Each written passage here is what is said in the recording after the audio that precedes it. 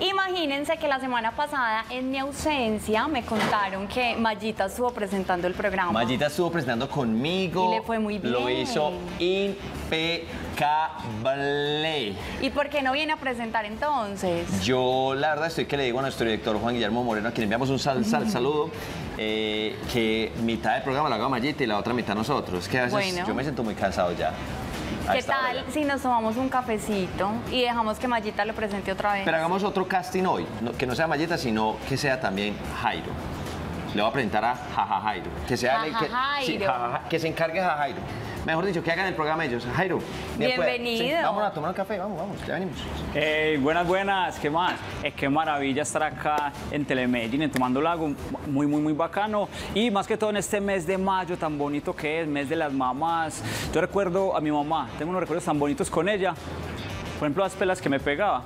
A mucha gente le pegaron con chanclas, con correa, pero mi mamá me pegó a mí con un cable de parabólica. Va, ¿cómo me había pegado de duro que con el primer cablazo yo quedé sintonizando DirecTV? Oiga, desbloqueé todos los canales que se veían borrosos, yo los veía nítidos, nítidos. Pero a las mamás yo admiro algo muy, muy bacano, es que son muy creativas y a la vez desinformadoras. Por ejemplo, en pandemia, las mamás descubrieron la cura contra el COVID. ¿Ustedes se acuerdan? Dice que el pelo de la Biblia que tenían que hacer que es que el Salmo 92, cogían un pelito, hervían eso, se tomaban eso y que dice curaba el COVID. Oiga, mi mamá le fue más bien con eso porque yo me peinaba al lado la Biblia. Oiga, montó un emprendimiento, una belleza. Y una cosa de las mamás es que hay diferentes tipos de mamás. Por ejemplo, están las mamás eh, recolectoras, esas que uno les dice que voten algo y nada, eso votan hasta, que guardan hasta basura, o sea, eso es increíble. Por ejemplo, yo le dije a mi mamá, yo, mamá, bota esa lámpara, mira esa lámpara ahí, eso, eso no tiene ni bombillos, bota eso. Ay, mijo, eso me sirve, eso me adorna la sala. Yo, ma, vea esa grabadora, eso de casetes, eso ya no se usa. Ay, mijo, yo escucho música ahí, eso me gusta mucho. Yo, ma, vea, 30 años usted guardando eso ahí, bote que eso no sirve para nada. Ay, mijo, respete que su hermano está sin trabajo, en esos días consigue, respételo, sí. Va, eso es increíble. Otro tipo de mamá es, por ejemplo, esas mamás hipocondriacas, esas que inventan enfermedades. Por ejemplo, mi mamá era así y lo peor es que entre mamás pelean para ver cuál tiene más enfermedades. Oiga, eso es increíble porque, por ejemplo, yo acompañaba a mi mamá a donde una amiga y empezaba esa pelea a ver cuál tenía más enfermedades. Llegaba la señora a la casa y decía, ay, mija, mm, ay, no, no, no, vea, ayer me dio un viento acá en la espalda. Ay, no puedo ni respirar. Ah, ah". Y mi mamá llegaba de una así de pelea. Ah, un viento. Ah, Pues a mí la semana pasada se me secó este pie, vea. Yo no puedo ni caminar, vea. Oiga, esas peleas que tienen las mamás, pero las mamás son maravillosas, son muy hermosas. Por eso en este mes de madres hay que quererlas bastante, hay que cuidarlas y hay que disfrutarlas un montón. Hey, muchas gracias por estar acá, por permitirme estar acá. Mayita, Vení, ¿qué tal? vení para acá, querido, bravo. Ay, gracias. Gracias, gracias. Ay, María, qué público. ¿Qué más, querido? ¿Cómo estás? Bien, súper bien. Tiempo sin vernos, Mayita. Ay, sí, oles del matrimonio de tu prima. Ay, sí, esa calle que no se puede casar, que porque es que, que le abrieron los pies. Y usted sabía que, que al que le abran los pies no se casa. Ay, y a mí como me han barrido los pies, no, prácticamente han trapeado el piso conmigo. Ay, no. No, Mayita. Ay, no. pero usted es muy cotizada, usted se va a casar pronto. Ah, sí, no, yo sí, gracias a Dios. ¿Oíste? ¿Y Sandra Daniela qué? Bien, Sandra Daniela en el pueblo, ¿no? Alborotada como siempre. Ella Ah, no May- cambia. Esa no cambia, esa no cambia. Ella no cambia, Jairito, pero bienvenido a Tomándole Algo. Muchas gracias, muy contento. Muy, ¡Qué muy dicha! Y ustedes, mis queridísimos televidentes, se preguntarán, ¿eh? ¿Y quién es ese bizcocho que está con Mayita? Yo se los voy a presentar. Él es Jaja Jairo Ramírez, es cuentero, comediante, ingeniero de sistemas y es muy lindo. Esa mallita, esa mallita de María. Oiga, esa- así es Sandra Daniela, eh, María, esta mallita. No, ¿sabe quién es lindo? ¿Quién es lindo? Ese público tan hermoso que nos ve en los shows y el público hermoso de Tomando un Algo. Qué público tan maravilloso. Ah, no, eso sí es verdad. Eso sí es verdad. Y a nuestros queridos televidentes, yo les quiero contar que es que Jaja Jairo y yo tenemos un show de cuentería y de stand-up comedy que se llama Esta gente son de un pueblo. Y hoy acá en este espacio tan lindo de Tomándole Algo les vamos a contar un poquito. Y además vamos a estar regalando dos pases dobles para que nos escriban en las redes sociales arroba telemedellín. Ahí la vamos a estar sorteando. Y también para que nos llamen en la línea 604 12, eh, ¿cómo era? eh, 260 268 6033 me avisan por interno. Eh, se lo aprendió desde, desde preescolar ese número, lo tiene pero memorizado. 680, ten- mira, mira, le pagué director. Bueno.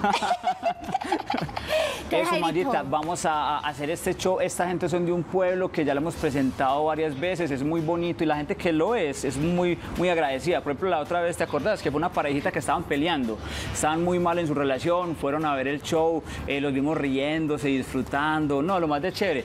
Igual después terminaron, pero no, no, pero pasaron bueno, pasaron bueno, o sea, este show es muy, muy bacano. Ay, ¿Qué tocamos en el show? Esta gente son de un pueblo, hablamos de muchos temas, hablamos de lo que es la vida, de cuando uno viene del pueblo a la ciudad, de uno como paisa, lo que le pasa cuando está eh, yendo de viaje a otras partes. También les voy a hablar de mi adicción, de mi adicción a la mazamorra. Uy, es que la mazamorra Ay, es muy sí. rica, oiga, eso es deli. Yo escucho mazamorra y las venas como que se me brotan así, o sea, no sé. No me- es que a mí no me la van a entender de pequeño porque se atrancaba ahí, pero es que la mazamorra es una maravilla, ¿es cierto, Mayita? Ay, También sí. hablamos de los pueblos y las cosas bonitas de los pueblos. Ay, sí, por ejemplo, yo amo ser de un pueblo, a mí me encanta, los pueblos tienen cosas muy características, eh, por ejemplo, la tranquilidad en los parques, ay, ese aire tan bueno que se respira y el chisme, eh, María. El chisme, el chisme, damas y caballeros, es, es patrimonio, patrimonio de la humanidad, de los pueblos, es algo muy maravilloso. Y vea, uno dice que en los pueblos no hay tecnología como para tener cámaras de vigilancia, todas esas cosas, pero en los pueblos está, ¿qué más? Ni nada menos que las Martas, las Berenices, las, las Marujas, Piedad, Silvia, eh, Ave María. A lujo de detalles saben todo lo que pasa en el pueblo. Oiga, por, por la- el pueblo donde yo soy, en Santa Bárbara, había una Silvia. Oiga, lengua y larga que comulgaba desde el atrio, vea. ¿Cómo sería de- chismosa esta Silvia que la ventana de ella, la, la cortina, estaba untado el maquillaje de ella? ¿Cómo sería de chismosa que para llamarla no había que gritarle, había que murmurar, Silvia, y llegaba de una, o sea, esa Eh, María, es que el chisme definitivamente, y yo he visto que hay varios tipos de chismosos. Acá muchachos en el CE, ¿ustedes quieren saber cuáles son los tipos de chismos? ¿Sí? Ahí está el primero. Claro, ahí, El que todo lo quiere saber, todo lo quiere contar. Eh, vaya, nunca, nunca vaya. También en este show hablamos de cosas muy bonitas, eh, lo que es la tradición oral paisa, las Ajá. historias, la cuentería, la retaíla, también tenemos un poquito de trova. Por ejemplo, Mayete tiene una retaíla muy maravillosa que es una obra de arte con todos los municipios de Antioquia. Les voy a contar un pedacito, pues. Ella se viajando. Y se alejandría para un pueblo que no está cerca y es Támesis de Medellín. Pero como ya esta tarde yo me voy a rezar al santuario, porque como soy devoto de San Andrés, San Luis, San Francisco, San José, San Vicente y San Rafael, yo les profeso una santa fe y pido perdón porque quiero vivir en concordia y reconozco pues que peque. ¿Y ustedes qué creyeron? Que se las iba a contar todas. Ah, Para eso tienen que ir al show este 17 y 18 de mayo en Acción Impro. Vea, Ay, qué dicha, qué dicha. Eh, Bienvenidos, venga. No, Ay, ah, yo me paso por acá. Muchísimas sabe. gracias. eh, Oiga, María.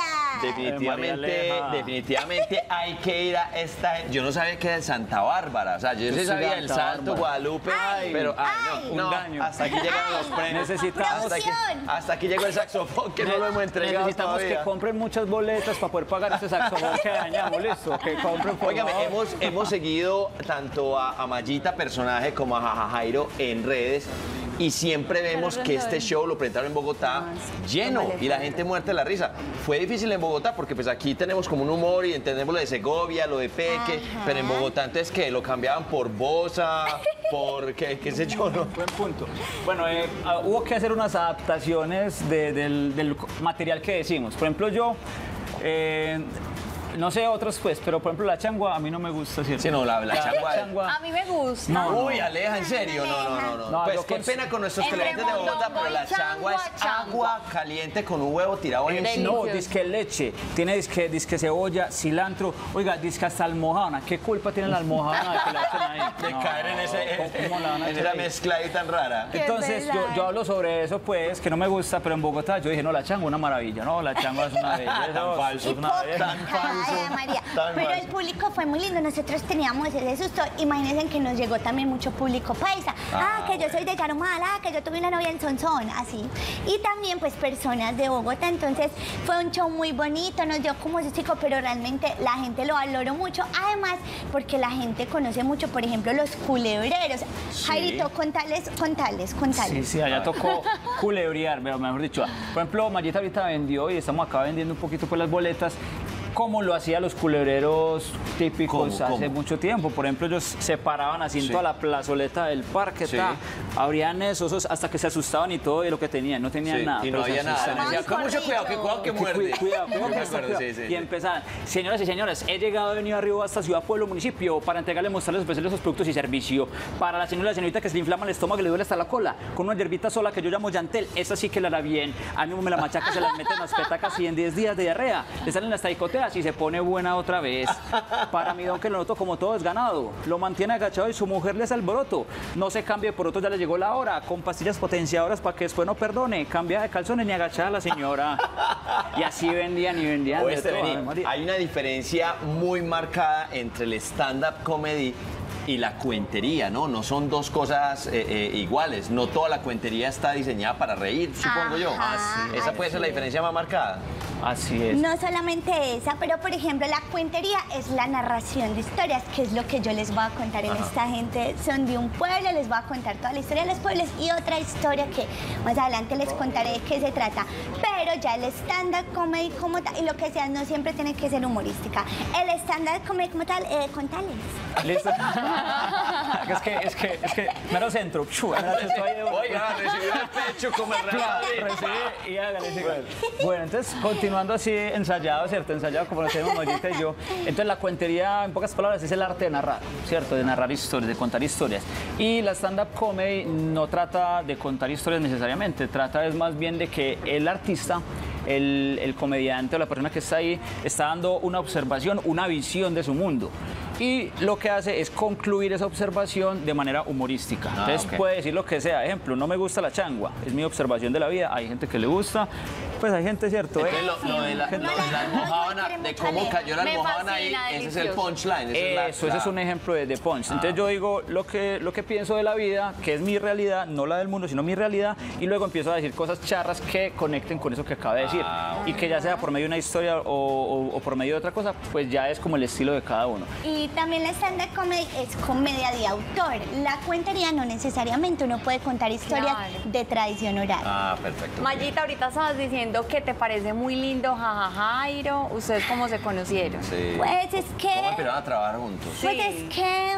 Ay, esa lejita, es que él es el novio de mi manager. Ah. Sí, ahí lo conocí, pues yo no, normal, yo lo respeto mucho porque pues él está comprometido y todo, pero es muy lindo. Eh, sí, y la manager no se ¿Y a enoja. vos cómo te parece Mayita? Ah, Maya está muy, muy simpática, ¿cierto? Ah, Está como cuando le dicen a uno, hey, te va a presentar una amiga, te va a presentar una amiga espectacular, pero está bonita, ve, pero es buena gente, la Es buena gente. Una querida.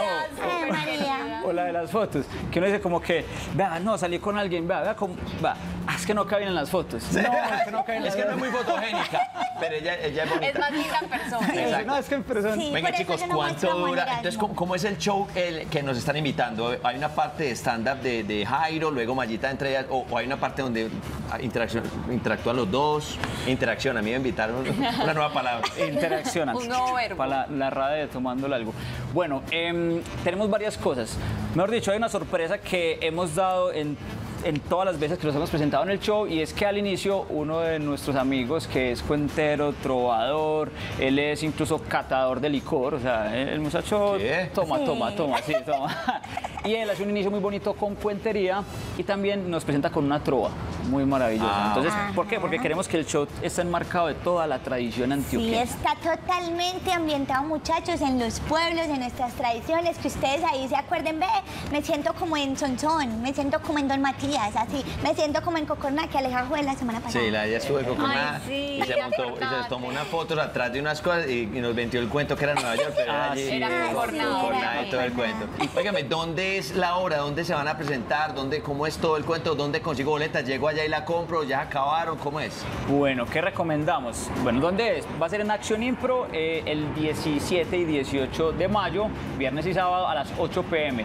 ¿Dónde las pueden comprar? Bueno, les contamos que ya estamos muy bien de, de ventas, pues, que, que bueno, muy bacano. Que Jairito se vende hasta muy rápido y Sí, quiere que sí, le sí, diga. sí, esa es la ventaja, esa es la ventaja. Así fue, con- con- así fue que conquisté a la, a la manager pues, de, Ah, de- de esta A punta de cuentos. a punta de cuentos, vendiendo. Pues es que Alejandra, imagínate. Enredando. Alejandra, imagínate que vos no seas casada y te presentan un tipo y, ay, ¿vos qué haces? No, yo soy cuentero. Ay, mi hijita, corra, porque imagínate un cuentero. A ver, María, bueno, entonces. Ahí, ahí hay riesgo de, de- de muchas cosas, sí. Sí. Bueno, entonces, eh, ¿dónde las Acción pueden Impro. comprar? Acción Impro las pueden comprar en etiqueta blanca. Para los que no saben dónde queda Acción Impro es en el Ah, Parque bueno, del Poblado. En el Parque del Poblado. Hay una cuadrita, es un lugar pues muy emblemático, que incluso por acá hace un tiempo tuvieron invitadas que hacen parte de Action Impro. Eh, y la que recomiendo pues como más fácil es que me pueden escribir en las redes, tanto a Mayita como a Ja- Jairo. Mallita personaje o jaja Jairo, le diga, venga, lo acabo de ver en Tomándole algo y quiero boletas para ir allá. De una, eso sí. Ahí estoy como si James dijera mi nombre, ¿cierto? Jaja, Jairo Ramírez. ah, Ahí estoy en redes, imperdible. Y es un show muy bacano, muy bonito. El viernes ya estamos casi que vendemos toda la, la- el aforo y el sábado sí quedan unas cuantas boletas disponibles. Óigame, pero que qué Qué buen acompañen, nos encanta Y, estar y en las redes sociales de Telemedellín también vamos a dar dos boletos. Dos pases dobles. Dos pases dobles. Dos pases dobles. Lo único que tienen que hacer es escribirnos en, en arroba telemedellín y decir, venga, yo los acabo de ver en Tomando algo, yo quiero ir al show de Jaja Jairo y de Mayita, eh, yo quiero que me den por favor las boletas. Entonces ahí pues ya Camila se encargará de ese chicharrón de dar esas boletas al- a la persona que nos escriba precisamente por ahí. Y nosotros, a nosotros nos gusta dejarle unas inquietudes al público, a las personas que nos ven también para que se antojen de ir Ok. al show. Jairito, Aleja, Alejo, ¿qué hace que un paisa se reconozca desde lejos, Jairito? Hombre, vea, ¿será posible que, que uno pueda dejar de ser montañero? ¿Será que un paisa será capaz de negociar la entrada al mismísimo cielo? Vea, las respuestas a estas preguntas y muchas más las daremos en este show que se llama Esta gente son de un pueblo. Bueno, Me ahí está, muy bien. Muchachos, muchas gracias y mucha suerte. Muchas Ahí gracias. estaremos la próxima semana, viernes y sábado. Viernes y sábado. muchas gracias, los esperamos pues. Nosotros vamos a hacer una pausa muy cortica y ya regresamos para hablar de vivienda aquí en el programa.